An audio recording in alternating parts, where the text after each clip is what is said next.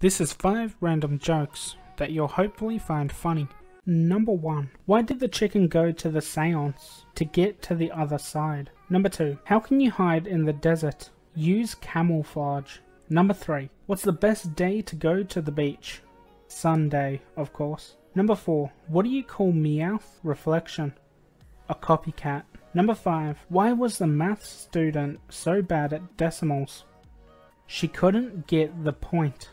That's all for today. I'm not going to waste too much more of your time. Just remember to like, subscribe, share, and turn on notifications. Thanks for watching, and I'll catch you later.